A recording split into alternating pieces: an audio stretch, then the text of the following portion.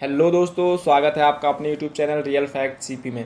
आज मैं आप लोगों को कुछ अजीबो गरीब सांप के बारे में बताऊँगा, जो कि काफ़ी ज़्यादा खतरनाक भी हैं और देखने में काफ़ी ज़्यादा सुंदर भी लगते हैं। आप उनको देखने के लिए बहुत ही उत्सुक रहते हैं।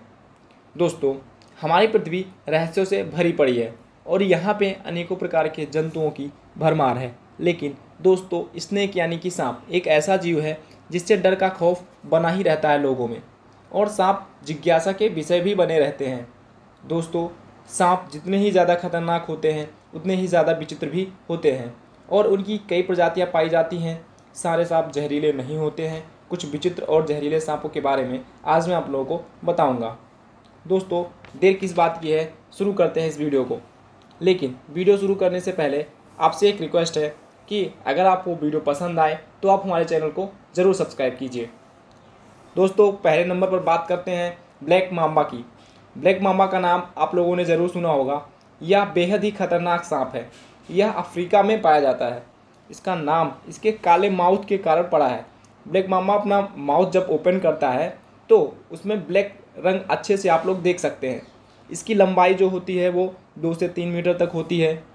अगर आसान भाषा में कहा जाए तो इसकी लंबाई एक आम इंसान से भी ज़्यादा होती है। एक आम इंसान की जो लंबाई होती है, उससे भी ज़्यादा इस सांप की लंबाई होती है।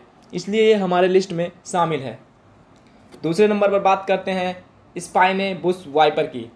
ये बहुत ही खतरनाक सांप है। दोस्तों, इसके ऊपर की खाल बिल्कुल ड्रैगन जैसे होती है। ड्रैगन की मूवीज़ दोस्तों, इस सांप ने अगर किसी इंसान को काट लिया तो उसका बचना बहुत ही मुश्किल हो जाएगा, क्योंकि इस सांप के विष के कारण इंटरनल ब्लीडिंग शुरू हो जाती है। तीसरे नंबर पर बात करते हैं एक अनोखे सांप के बारे में, जिसे फ्लाइंग स्नेक के नाम से जानते हैं। जी हाँ दोस्तों फ्लाइंग स्नेक मतलब कि उड़ने वाले सांप के नाम से जानते हैं। लेकिन इसमें सबसे ज़्यादा चौंकाने वाली बात यह है कि ये उड़ नहीं सकते, बल्कि एक पेड़ से दूसरे पेड़ पर जाने के लिए ये छलांग लगाते हैं। ये सांप अपना ज़्यादातर समय पेड़ों पर बिताते हैं और एक स्थान से दूसरे स्थान पर जाने के लिए ये पेड़ों से छलांग लगाते हैं। चौथे नंबर पर बात करते हैं पेट स्पिटिंग कोबरा की। ये भी अफ्रीका में पाया जाता है और एक बेहद ही खतरनाक सांप है। मुख्य रूप से यह पूर्वी अफ्रीका में पाया जाता है। ये काफ़ी तेज़ होते हैं और ये अपने जहर का इस्तेमाल शिकार को मारने के लिए एक अनोखे तरीके से करते हैं। ये सांप दीमक के टीले, लकड़ी के होल में रहते हैं।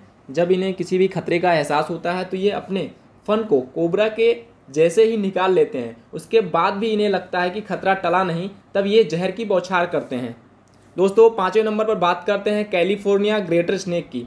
वैसे तो सभी ग्रेटर स्नैक जो होते हैं, वो ब्राउनिश कलर के होते हैं, लेकिन इस अनोखे ग्रेटर स्नैक की स्किन काफ़ी सुंदर लगती है, जिसके ऊपर ब्लैक और रेड कलर का बैकग्राउंड होता है।